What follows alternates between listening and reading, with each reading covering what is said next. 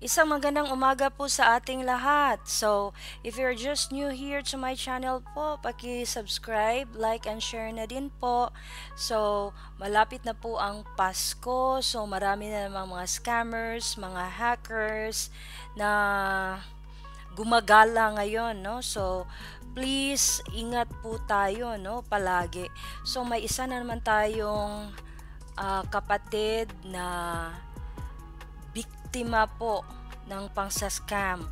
So natangayan po siya ng 500,000 pesos sa kaniyang credit card. And malaki na to, no? So let's watch this one kung paano to nangyari.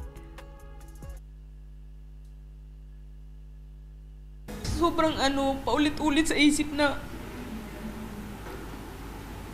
ang tanga-tanga ko. Naiyak na lang ang 47 anyos na vendor sa palengke na si Rosalie matapos maskam. Kwento ng biktima may lalaking tumawag sa kanya at nagpakilalang taga-bangko. Hiningi ng caller ang OTP niya. Nung una, hindi niya ito ibinigay pero sinabi ng lalaki na alam daw niya ang lahat ng transaksyon niya kaya napaniwala siya. Nakalabing apat na beses na daw siyang hininga ng OTP. May outstanding balance ka na ganito. May So, ayun nga po, no, so always po na nire-remind ng mga taga-bangko sa atin, no, na huwag talagang ibigay ang ating mga OTPs kung sino-sino mang tumatawag sa atin, di ba? So, kailangan po nating uh, ingatan yon no? Ang ating mga OTPs, huwag po nating basta-basta ibigay. Yun talaga ang sabi ng taga-bangko sa atin, no? Eh, ano ka, may yung amount na alam ko na na bayarin ko, alam niya. Okay, binigay ko na naman. Nawala na ako dun sa pag-iisip. Na mental block na ako. Lahat ng pinadala niya sa akin, sinin, inano ko na. Sumunod na lang ako ng sumunod. Nalaman na lang niya na naloko siya dahil tumawag ang bangko sa kanya. Aabot sa yun nga po no yung mga scammers ang gagaling talaga nila so parang nag-aano din sila parang ini-educate nila ang kanilang mga sarili kung paano talaga yung mako-convince nila yung mga um, mga tinatawagan nila no? So uh, be careful of this talaga. Sa kalahating milyong piso ang nilima sa kanyang credit card Ayon sa PNP Anti-Cybercrime Group, ang ganitong uri ng scam ay tinatawag na voice phishing o vishing. Modus po ng mga cybercriminals dito ay may tumatawag sa mobile number natin at nagpapanggap na bank representative. Paalala ng otoridad para hindi maloko mas mainam po na mag-verify po tayo dun sa payment service provider or sa bangko po natin or any financial institutions bago po tayo magbigay ng one-time PIN. Nasa 34 ang mga nahuling sangkot sa phishing ngayong taon. Nagbabalita mula sa frontline So, ayun nga po, no? So, ang dami talagang na nai-scam ngayon dahil palapit na po ang Pasko. Ako man din po ay biktima ng scamming, no? So, may gumagamit din po sa aking credit card online. So, imagine that one, uh, dalawang beses siya gumamit ng aking credit card. And then, yung, uh, yung una is, uh, parang ang date is 28 then ang pangalawa is 30 so imagine kung ang ang pagitan ng araw is only like 2 days lang And uh, sa ano daw yun sa Facebook uh, Facebook ads na nagsasubscribe. Hindi naman ako nagsasubscribe sa ano sa kung anong mga ads ads. Ewan ko lang kung bakit uh, nagamit yung ano niya, yung ano ko, yung credit card ko. And um, sabi sabi is ano daw, yung mga link. Hindi naman ako, hindi ko matatandaan na may kiniklik ako ng mga link. Ewan ko lang kung paano nila ginawa yon no? Na nagamit nila. So, ayun nga, nag-email yung taga-bangko sa akin na ano daw, nagsasubscribe daw ako. Imagine, 11,000 yung una, then ang pangalawa, uh, the same, no? 11,000 each.